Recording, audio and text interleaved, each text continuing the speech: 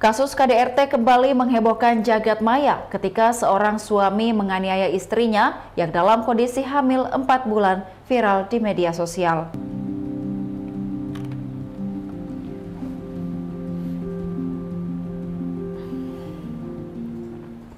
Dari unggahan beberapa akun di Twitter, sang suami diketahui bernama Budianto Jauhari, sementara istrinya Tiara Maharani. Peristiwa itu direkam oleh tetangganya ketika Budi mengapit leher korban dari parkiran mobil ke dalam rumah. Tindakannya itu bahkan menjadi tontonan warga sekitar. Dari informasi akun Twitter @mazini underscore GSP, korban dianiaya karena memergoki chat pelaku dengan wanita lain. Aksi keji pelaku terhenti setelah pengurus lingkungan mencoba melerai, namun pelaku yang masih dikuasai emosi bahkan sampai menantang setiap orang yang mencoba menghentikan aksinya ini. Ibu korban yang juga sempat menolong anaknya justru ikut terkena pukulan. Korban sempat berusaha kabur lewat jendela untuk mencari pertolongan. Namun pelaku berhasil mengejarnya hingga akhirnya ia kembali dipukuli di halaman rumah serta semakin menjadi pelampiasan kemarahan pelaku. Tak hanya dipukul saja, korban juga ditindih dan terus-menerus dipukuli pelaku.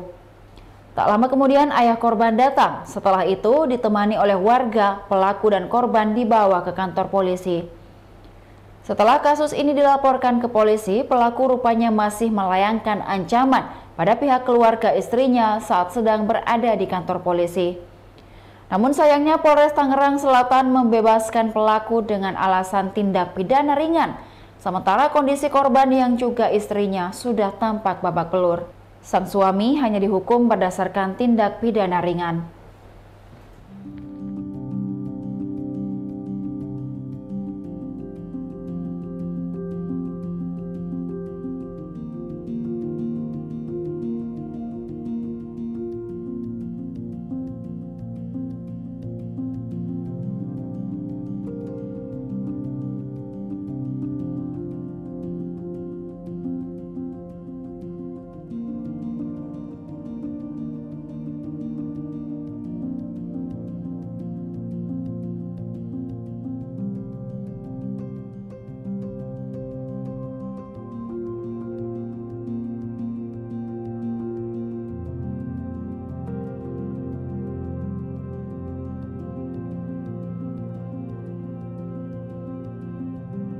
Demikian Tribun Hot News kali ini, saksikan berita lainnya hanya di kanal YouTube dan Facebook Tribun Timur.